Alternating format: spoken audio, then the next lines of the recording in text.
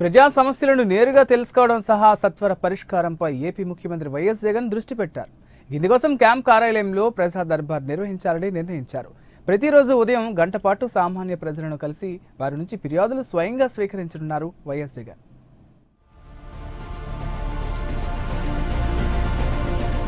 ముఖ్యమంత్రిగా బాధ్యతలు చేపట్టిన నాటి నుంచి పాలనలో తన మార్కును చూపించేందుకు జగన్ ప్రయత్నిస్తున్నారు. ఇప్పటికే నవరత్నాల అమలుపై అధికారులకు స్పష్టమైన ఆదేశాలు జారీ చేసిన జగన్ ప్రజా సమస్యల పరిష్కారమే ప్రధాన లక్ష్యంగా అడుగులు వేస్తున్నారు. తన తండ్రి మాజీ సీఎం వైఎస్ రాజశేఖర రెడ్డి చేపట్టిన పలు కార్యక్రమాలను తిరిగి ప్రారంభించేందుకు ప్రణాళికలు సిద్ధం చేశారు.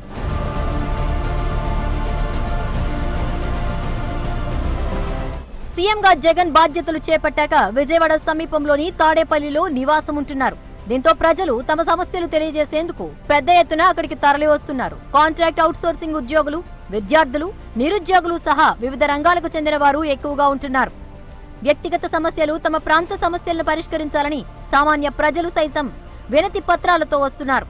వచ్చిన వారందరి నుంచి నెల రోజులుగా ముఖ్యమంత్రి కార్యాలయం అధికారులు వినతులు తీసుకుంటున్నారు.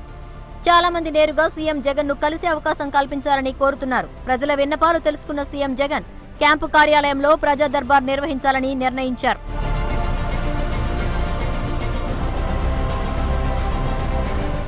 జూలై ఒకటిన ప్రజా దర్బార్ ప్రారంభానికి ముహూర్తంగా నిర్ణయించారు. ఇందుకోసం క్యాంపు కార్యాలయంలో ప్రత్యేక ఏర్పాట్లు చేశారు. క్యాంపు కార్యాలయం ప్రవేశ మార్గం వద్ద ఓవైపు షెడ్ నిర్మించారు.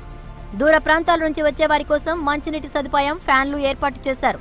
సోమవారం నుంచి ప్రతిరోజు ఉదయం ఎనిమిది గంటల తర్వాత గంట పాటు ప్రజల నుంచి సీఎం జగన్ వినతులు స్వీకరించి స్వయంగా వారి సమస్యలు తెలుసుకుంటారు.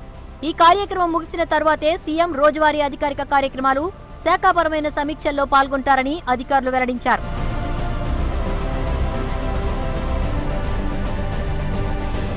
గతంలో రాజశేఖర రెడ్డి సీఎంగా ఉన్నప్పుడు క్యాంపు కార్యాలయంలో ప్రజా దర్బార్ను కొనసాగించారు. అదే బాటలో ప్రజా దర్బార్ను జగన్ అమలు చేయబోతున్నారు. సీఎం నేరుగా ప్రజలను కలిసే కార్యక్రమం కావడంతో భద్రతా పరంగా ఎలాంటి ఇబ్బందులు రాకుండా పోలీసులు ప్రత్యేక చర్యలు తీసుకుంటున్నారు.